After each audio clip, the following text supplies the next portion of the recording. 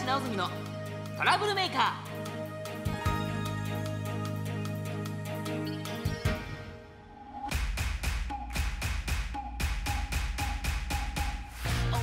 皆さんトラボー。高橋直澄でございます。1週間のご無沙汰いかがお過ごしでございますかね。さあということでいきなりひっくり返ってみましたがいかがでしょうか。あのまあねそういう時もあるかなみたいなね。緊張すると思いもよらぬことがこう身に降りかかったりねパニクるといつも言ってたのに急に分かんなくなるみたいなことっていっぱいあると思うんですけどそんなね生活の中でもそんなのもあったりとかするんです。あの私がパニクる時っていうのはですね、あの寝起きとかでトイレ行くじゃない、はい。で俺は大きい方もちっちゃい方も座ることにしてるんですよ家で、はいはい。はいね。で座ってやってるんですけど、蓋を開けて座ろうとするとお尻に何かが刺さるの。ガンって。ズコンって「えーって。これがね寝起きだと結構なパニックなのよ。な何？何事？って。すると蓋をやって開けたんだけどスーンって戻ってきたりするのね。便座のこう蓋が開いてなんかこうなんだちゃんとカチッとこう上まで開けてなかったからかな。こう中途半端に開けてるとこスーンとゆっくり戻ってきててそこに向かって座るのでケツに刺さるんですよ。ザカって「ハーホー!」ってなるんですよね。そうするとね寝起きの寝起きの自分のこうぼーっとしてる感じの、えー状態でそのいつもと違う何かが当たったことによる パニックって結構なのよ。はいはい。ワオワオってなんか一人で なんかね一気に目も覚めますしなんかね楽しくなります。なるほど。そんな感じでございます。ということでいきましょう。今週のチョロ。はい。ということでね今週のチョロもお届けしてみたいと思いますけどもえーとですねあのーいろいろまだねあの通販でやってる生活が続いているんですけども、はい。でこういろいろこう送られてくるじゃない、この間ねあのあるものを購入しまして結構大きめのものだったのはい。でだからちょっと梱包材も大きいんでいろいろ。箱も大きいしあの緩衝材っていうの、うん。プチプチみたいなやつも大きいし、うん。で入ってる袋みたいなのも大きいわけですよ、はい。でそれをあのね封を開けてでそこに置いてでいろいろこうねセッティングしたりとかしてたわけですよ、はい。そしたらチョロ様がその梱包材がお気に召したようでですね。なんかガシャガシャガシャガシャガシャってこうじゃれたりなんか一人でこうカシャカシャって音するものが好きなんですね、うん。かじゃれてる姿がめちゃめちゃ可愛いんですけどもうね気に入ったんでまたそれ捨てられないですね。これねしばらくあーやっと部屋が綺麗になったのにっていうですね。それねこれ毎度 毎度なんです。飽きるまで一応こう置いて差し上げてるんですけど。えーお届け物があるとねそういう風になるわけです。ね。あとねもう一つ言わせていただくとですね最近あのチョロテカラチュール。あは。いチョロテカラチュチョロテカラチューうん。チョロテカラチュール？ねやってるわけです。いやあの最近とにかくチョロテカラチュールやってるんですけども。でそのチョロテカラチュールこうあの子ね大体食べ終わるなーっていう大体の時間が分かってるっていうかねうんうん。ほんであ多分おしまいって言葉も多分き分かってると思うんですよ。理解してるんです、うん。だからこうじゅーっとこうね端っこまで食べてではいおしまいって言ってあないんだねって後言った後の、うん。スンってこうはけっぷりがすごいの。今まですんごいあのあのね写真にも載っけたことあるけど、うん超可愛い顔でええって食べてたのにはいおしまいっつつ途端にスッとこう 何事もなかったみたいにこの手のひらを返して帰る感じで。いやこれもなんていうのかな。そこも含めて好き。い やーね。ーということで高橋直澄のトラブルメーカー今週も元気にいってみよう。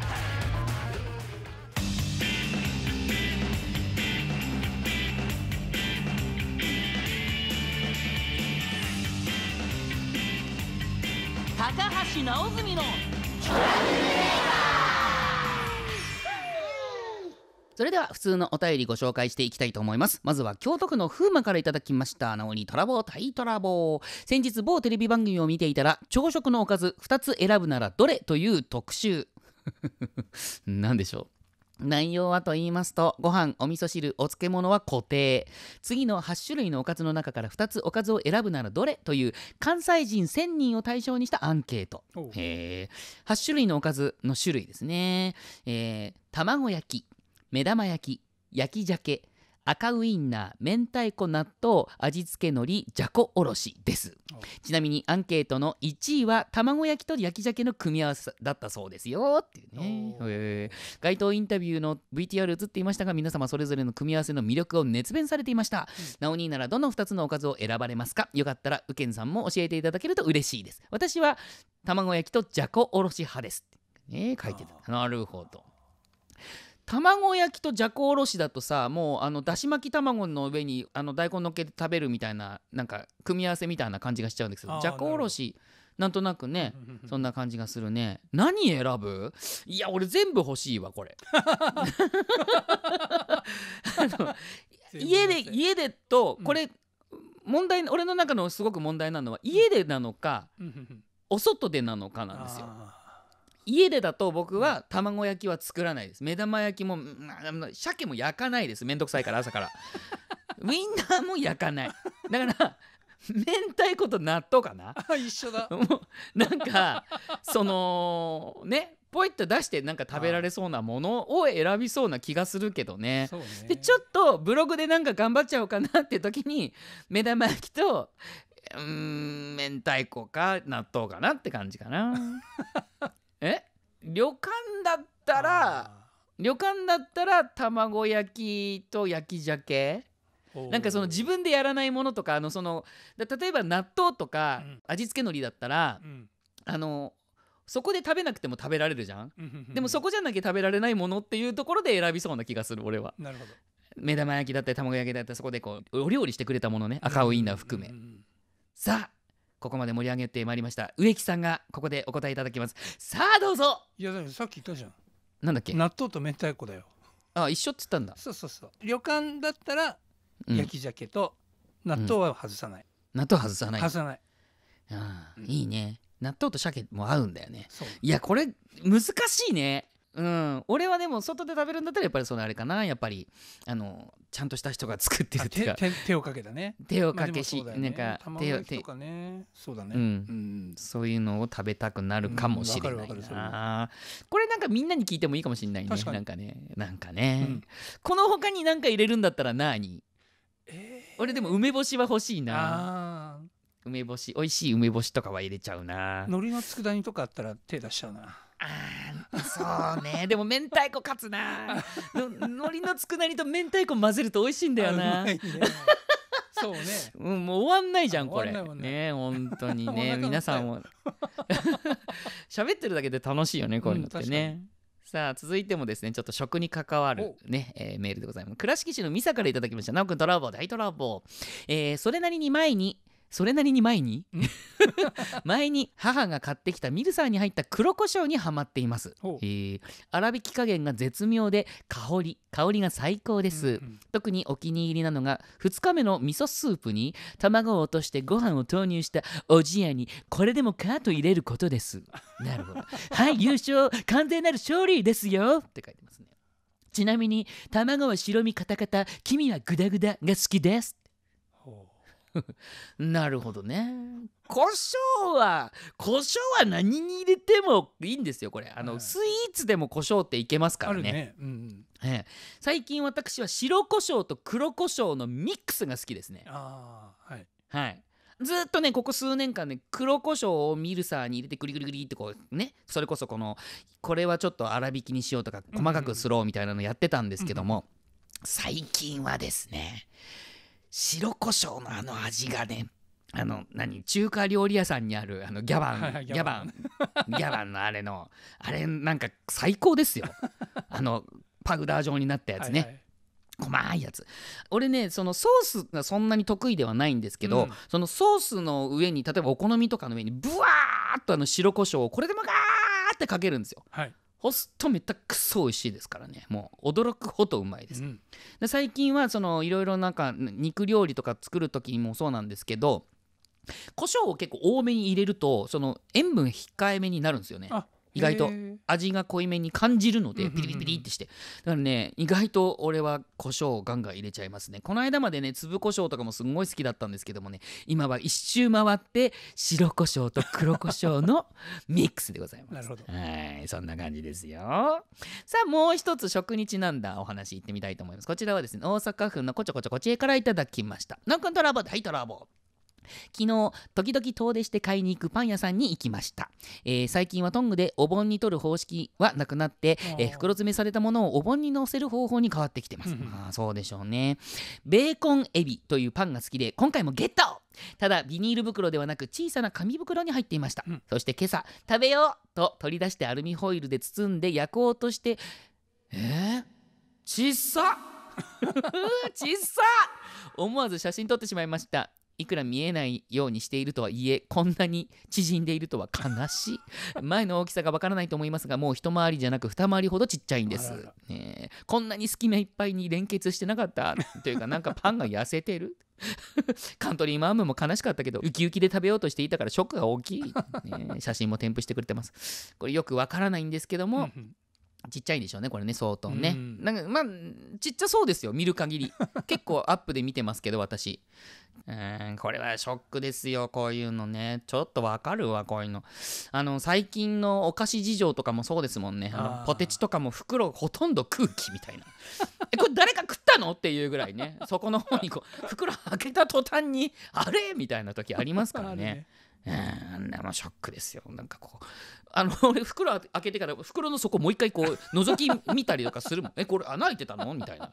どっかに落としてきたかなって思うぐらいね、ええ そんなこともありますからね。いろいろね。やっぱこうこのご時世いろいろ皆さん生き残りをかけて大変なのはお察ししますけどもうん。多分これパン屋さんもちっちゃくだんだんにしてったんじゃない？これぐらい気づかないかなって。でしばらくぶりでポンっていくと急にちっちゃくなったように見えるんじゃない？これね。ん。努力の賜物っていう結果かもしれませんねこれね、えーこれは改善をねしていただきたいものですね。なんかねいっぱい通って買ってあげるしかないのかな？もしかしたらね。うんさあということで次のメールご紹介しましょう。兵庫県のモンチッチからいただきました。なおにトラボーはいトラボー。デジフェス出演決定おめでとうございます。ありがとうございます、えー今年も開催されるなんて嬉しいです。またワームモンに会えると思うと嬉しくて嬉しくて。そしてケンちゃんにも会えるなんてもう楽しみで嬉しくて。仕方がありません、えー今回は一体どんなフェスになるのか。今からドキドキワクワクしています。ただ今の状況ではオンラインでの参加になりそうです。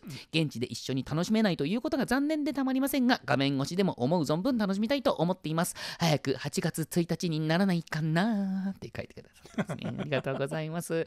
そうなんですよ。2014年より毎年開催してきました年に一度のデジモンのイベントですね。デジフェスが、え8月1日日曜日横須賀芸術劇場にて、ね、今年はリアルオンラインで開催されるということで嬉しいですよね、えー私、高橋直澄もですね、出演が決定しましたので、えー今年はね、2001年4月より放送したデジモンテーマーズの20周年ということで、その出演キャストアーティストを中心に総勢18名の豪華出演者が決定ということでね、うん。えートークショー、オリジナル朗読劇、そしてお待ちかねの熱いライブをお楽しみにということで、ね、えーデジフェス2021はですね、8月1日日曜日、横須賀芸術劇場会場16時半、えー開演17時半となっておりますので、詳しくはですね、デージモンパートナーズ公式サイトご覧いただきたいと思います。はいねえ、テーマーズまで来るということで。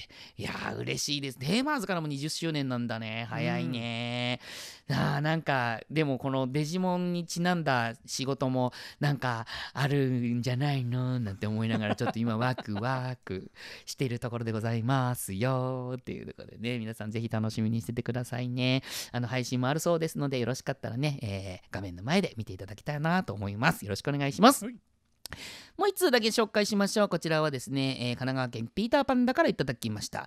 えー、なおにトラボはいトラボ。今日は舞台青空の FC 選考の当落発表でした。そうですか。ドキドキの結果は当選しましたということで、おめでとうございます。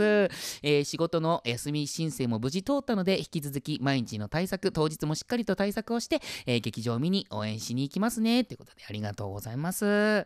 ねえ、こちらもですね、えー6月18日金曜日13時から、えー俳優座劇場にて、えー国山ハセンさん中島咲さんそして村田武弘さんと共演させていただきます、えーチケット一般発売開始されておりますのでもしよろしかったらぜひね、えー見ていただきたいなというふうに思っておりますのでよろしくお願いしますね。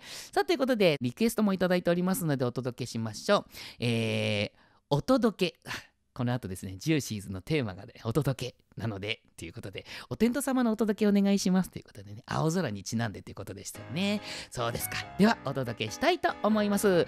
連続テレビドラマ、豆柴一郎主題歌、そして、えー2012年リリースのベストアルバム、ディケードゴールドより、高橋直澄、お天道様。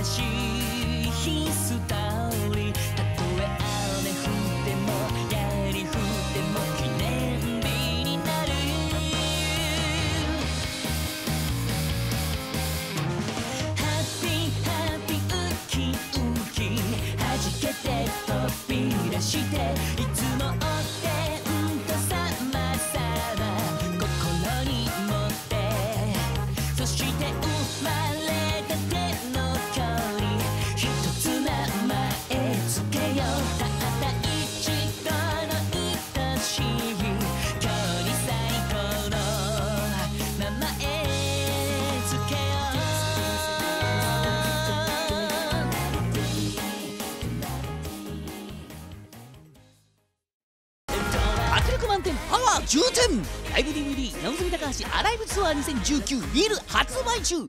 さらに癒し全開。ライブ DVD ターンアライブ4カラーズ雪桜。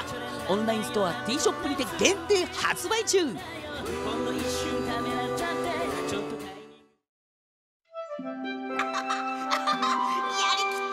実。見つけたわ。ジャッジ。ジュージュージューシーズ。今週のお題小さい頃は神様がいてお届け物ということで言ってみたいと思います。えっと何も何でもないですよ。あの 何も何もそういう何もないですからね。はい。まずはこちらからいただきました。アンコアクアネットからいただきましたトラブルネームね。えーお届け物。お届け物7年間勤めた会社を退職した時の話です留守中に同僚が荷物を届けに来てくれました何やらいぶかしげな母なんだろうと部屋に入って目にしたのは色紙代わりかん？寄せ書きだらけの大きな段ボールが2つ。困ったことに親兄弟と住んでるのよ。勘弁してよ。な内容がかなりあって焦る焦る。その日母と姉から、えー、質問されたり呆れられたりと散々でした、でも、えー優しいお言葉もたくさんあって中に入っていたお選別の数々もありがたかったですけどね。仲良しさんがノリで「あんこちゃんありがとうあんこちゃんお疲れ様と書いて段ボールを置いておいたら、えー面白がってたくさんの方が何かしら入れてくれたりメッセージを書いてくれたり、えー残念ながら人徳の成果ではございませんのって書いてある。あらそんなことないんですないですか？あ何を思ったか、えーかなりセクシーなベビードールを後輩女子から送られて一人暮らしになってから来ましたよ。えー到底家族の前では披露できない代物でしたということでいただいておりますなるほ。あら、これはあのあれですね。きっといじられてますね。とても親しみやすいかったんじゃないですか、アンコアクアネットさんはきっと。ね、なんかこう愛されキャラなのかなって。もう書いちゃえ書いちゃえみんな入れちゃえ入れちゃえみたいなね感じで。で後輩なんかもそのベビードールってかなりセクシーな下着ですからねあれね、あのびっくりするぐらい透けるやつですもんね。それは親の家族の前で披露できませんよ。全部中身見えちゃいますからあれね。さっき調べたんですよ分かんなくてね。ベビードールね。そしたらそういうものらしいですから。あら素敵な贈り物でしたね。ありがとうございます。続きましてこちら、えー大阪市のキヨからいただきましたなんだか怪しいお届け物の話です。先日北海道のとある水産業者を名乗る人からお電話がありました。一度購入してくれたお客様のだいぶ前の名簿までたどってお電話させてもらっている、えー北海道店がコロナで中止になって困っている。安くするから海鮮詰め合わせセット購入してもらえないか？といった内容だったそうで。母が電話を受けたのですが方言っぽい気さくな感じのおじさんの声だったようです。ウニやイクラが入ったセットはお高いし家族が食べないのでと言って断ろうとしたのですがお好みに合わせたセットにしますからお願いしますと言ってきたようで母もまあそんなに困っているならということで送っても来てもらうことに。着払いしかできないんです振り込みやカード決済非対応なんです。すみませんって言われたそうなんですね。それを聞いて嫌な予感がした私がネットでその会社のホームページを見たらトップページに弊社の名前を語った電話での勧誘が多発している。弊社から電話で営業をかけることは一切ない。トラブルが起こっても弊社とは全く関係ないので返品などはできないとの文言。あら。あら。完全にこれは怪しいやつだと。消費者センターに電話で相談してその怪しい荷物が届いても、えー受け取り拒否してクーリングオフ通知書なるものを、えー特定記録郵便で郵送しました。2週間以上経ったのですがその後何も起こっていないしお金も取られなかったのでよかったですって、ねうん。そうですかそれから母は家の電話に出るのを嫌がっています。怖かったんでしょうね。着払いには気をつけるわって言ってました。皆さんもお気をつけて。うん。確かに怖いですね。これね。なんかこのネットの社会になってねいろいろこう頼んじゃうんですけども怖いなみたいなね、うん。いうのありますからね。私もこの間なんかとあるものを買おうと思いましてポチッとカゴに入れました、えー決定ボタンを押しました。したらすぐメールが来まして、で払い込みを先にしてくださいって言ってでなんかうーんやっぱりやめようかなと思ってちょっとこう躊躇してたんです、うん。数日。そしたらですね500円引きますから早くご入金お願いします。次の日。1000円引きますからご入金お願いしますみたいになってきてえなんかすんごくうさんくさくないこれ。なんでなんでなんでなんで？って思って結局私は買いませんでしたけどもね、えー普段だったら買ってたでしょうね 私ねえーえー怖いね。さあ続きましてのお届け物行ってみたいと思います、えー栃木県の千鳥犬からいただきました、えー、直住さん、右健さん、皆さん、トラボー。はい、トラボーお届け物について、えー近年コロナ禍ということもありネット通販を利用することが多くなりました。そのため、えー宅急便が来る頻度も多くなり受け取れる時間帯が仕事から帰宅した後が多いため、えー夜の配達をお願いすることが大半になってしまいます、うんそれでも嫌な顔をせずにいつも笑顔で荷物を届けてくれる宅急便のドライバーさんには感謝です。ありがとうございます。ねえ。本当にそうですよねこれね、うんあの雨の日でも風の日でもちゃんとねお届けしてくれるあの出前とかのやつもそうですしね本当に家にいながらこうやって手に取れるのってありがたいことだなと思いながらもね。一時期はもうねあのこのドライバーさん用にドリンク買ってたもんね栄養ドリンクをねで でも結局その栄養ドリンクを宅配の業者さんが持ってきてくれるっていうやつ、ね、それそれをそのままこうありがとうございますってお渡しする感じでございましたけどね。いいんだか悪いんだかって感じでしたけど。ねえ。なんかこう僕やっぱね仲良くなってくるとあるんですよね、このうんこうこの人。だから名前覚えちゃったりとかして あ今日はあの人じゃないんだどうしたのかな元気かななんて思ったりとかね、うんうんうん。そういうこともやっぱあったりとかしますからね、ええ。この間ねそのお届け物で僕の話になりますけど、うん。あのー多分ねあのお友達なんですけどもあのブログとかねこう書いてるじゃないですか毎日ね、はいはい。それとかの端々にちらっとこう感じるのかもしれないんですけども、うん。あなんか元気ないなとかあもしかして風邪ひいてんじゃない？なんていうのをですね多分察知してくださるんですよ。うん。そうすると途端に支援物資みたいなのが届きます。なんか缶詰とかご飯のおかずとかそういう必要なね食べ物とか送ってくれるんですよね。本当にねいい家族のようなね友達だなって思うんですけども本当にねみんないろいろ自分も大変なのにねというところでねそういうお届け物感謝だなっていうふうに思いました。たくさんのメールありがとうございました。ということで今後のお題は浄化されたとですね、えー冷凍庫の匠と化石。おありますね。まあ冷蔵庫でもいいですよ。なんかねびっくりするようなミイラみたいなのも出てきたりとかしますからね。えそんな話とかねいろいろ送っていただきたいと思います、うん。以上「ジュジュジュシーズ」のコーナーでした。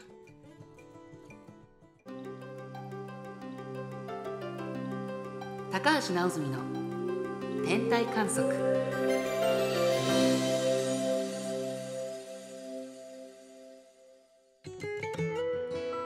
最後は高橋直澄の気になっていることや独り言を聞いていただく天体観測のコーナーです。さあということで今日はねあのお届け物みたいなのをねテーマにお送りしてきましたけどもあのー気持ちを届けるみたいなところでは毎週ねこの番組もお届け物だなっていう風に思いながらあのやっているところはあるんですけどもね。この人間と人間のつながりみたいなものはいろんなこうツールを通してこうつながれたり絆を結べたり。ね今はこういうご時世だからなかなか直接は会えないぞみたいなところでですねあのそういうつながりがこうだんだんこうねなくって寂しかったりあの人と喋れないことによってこうストレスが溜まったりなんてまさに自分なんかは本当にそれを最近特に感じておりましてでずっと我慢してちょっとこうあの自粛開けたりとかしてちょっと会ったりとかしてまた自粛になってっていうのをこう繰り返していくとだんだんそのなんだろうなあのダイエットしてすごくリバウンドしちゃったみたいな感じっていうかな なんか気持ちをギュッとした分なんかすごくこう解放した時のまたこうギュッとする時のその辛さっていうかねそういうのがすごくあるような感じがするんですけどもそれでまあねこの番組なんかはもうあのずっと自粛が明けても、えー通してずっとリモート収録を続けている番組でございましてですね本当にスタジオの方には行っておりませんしねみんなにもほとんど会えてないっていう感じのところでやってるんですけどもまあそういうところを考えるとねあの今までどういう風な絆とかねその気持ちを届け合ってきたのかなっていうところの貯金で今やってるような気がするんだよね。こうこうなんとなくこう今ねこうこうやってやってるのはあの人だったらきっとこういう風にやってくれるはずだなとかこういう風に頑張ってくれてるんだよなっていうその今までの経験値とか付き合ってきた積み重ねてきたこの信頼の貯金のおかげだなっていう風に思ってるんですよね。ただこう今ねだんだんこう会わない時間が長くなってくるとその貯金をねちょっとずつこう切り崩してるようなそんな気持ちがしてるんですよね。だからあのーまあだこう言わなくても分かるだろうなっていうのはこのご時世になったらきっとそれは通じないぞみたいなところがなんか出てきてるような気がするんですよね。だからこうなんかね画面でこういちいちこうテンション上げて喋んのもなーって思いながらやってたりするんですけど打ち合わせの時とか。でも後でこのなんかこう録画したものっていうかねそういうのを見るとあなんか直澄感じ悪いな。なんか全然ニコニコしてないじゃんみたいなのがあるとすごくこれ貯金を切り崩してるんじゃないかみたいなことも思ったりとかするのでなんかねそういう身近な人とのこの気持ちの届け合いっていうのはですね非常にこう大事だしでもちょっとでもねこうね安全に会えるとかいう時はですね是非会っていきたいななんていうふうに今はすごく強く思いますね。何があるか分かりませんからね。なので今はですねでも会えないのでいろいろ細かくですねいろんな方に連絡を取るようになんていうのを心がけております。皆さんねこういうご時世になりましてなんか心がけてることありますでしょうか？あったらぜひ教えてくださいね。ということで天体観測のコーナーでした。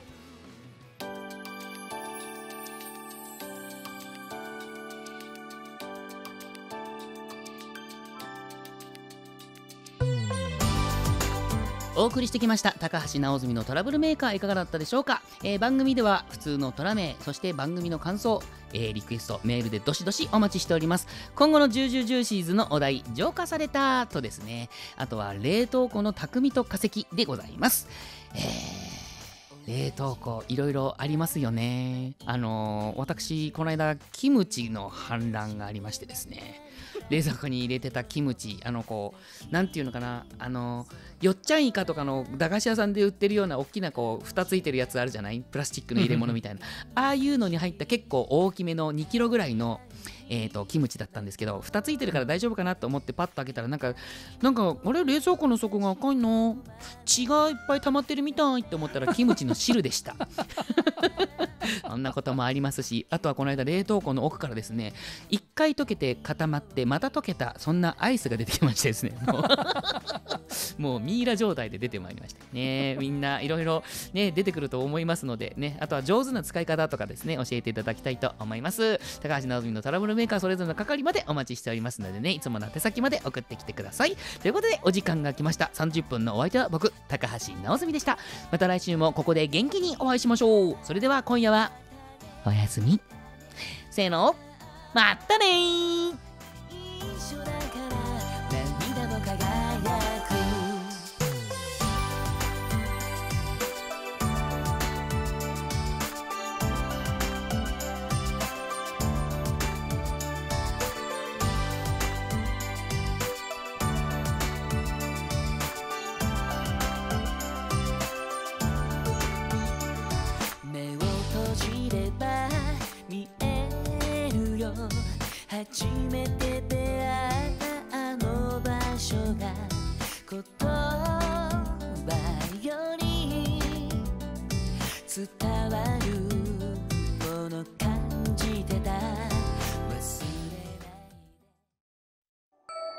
ボーカルとギターで冬から春そして未来へとストーリーを紡ぐ。